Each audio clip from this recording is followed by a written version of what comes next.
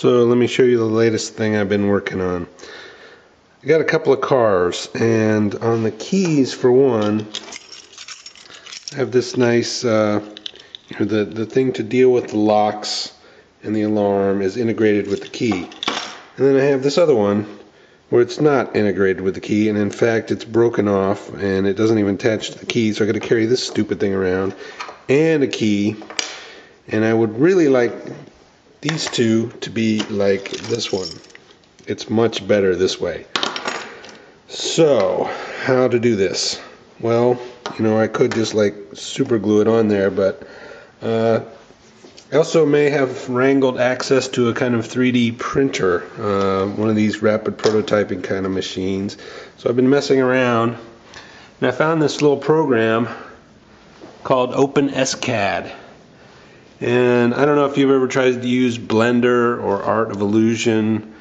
Um, I've messed around with them a little bit, but it's very hard, I found, to create, uh, to sort of get things lined up with proper dimensions and, and sort of very hard to use. This OpenSCAD is uh, much more uh, programmatic. You can see here, I, I, I don't know if you can see this or not, but it's just a little script when you uh, sort of tell it to make cubes and cylinders and cones and add and subtract them. And so it becomes much easier to construct something like this. And uh, this is the part I'm going to make. And you can see this kind of uh, this kind of cup right here. This is what I imagine this piece will go into. I'm probably going to modify it a little bit so it will fit in there. And then, of course, um, this key will go right right there basically is the idea.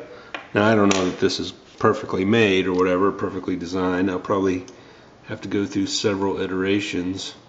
And I don't know that I can actually print out with this little uh, this this would be like an overhang here. I don't know that this will this probably won't print so I'm probably gonna have to uh, modify the design. Still this is pretty neat.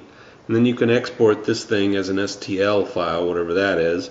And then you can also import it into Blender. Here's the same thing in Blender. I just imported it. And uh, you can see there there's the mesh view so um, I think I just have to export this and then run it through Skeinforge and then then the, then the, the real problem will be how do I deal with this overhang. Uh, but anyway, this pretty neat little program here, pretty neat little, pretty neat stuff. I thought so anyway.